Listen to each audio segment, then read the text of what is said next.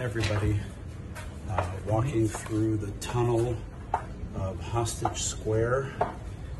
Um, the simulation of the horrible tunnels where our hostages are being held by Hamas. This small, dark simulation just gives us the feeling for what these people are going through. It's nightmarish. This ends pretty quickly. This one here is short and I could see the light at the end of the tunnel, but our hostages unfortunately don't see any light at the end of the tunnel. They see only darkness.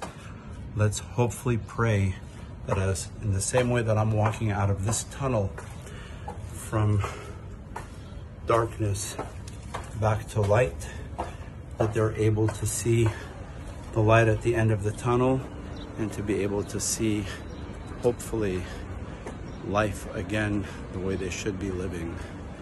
Wishing everyone Shavua Tov and keep our prayers and our hopes alive for our people to come home. Shalom.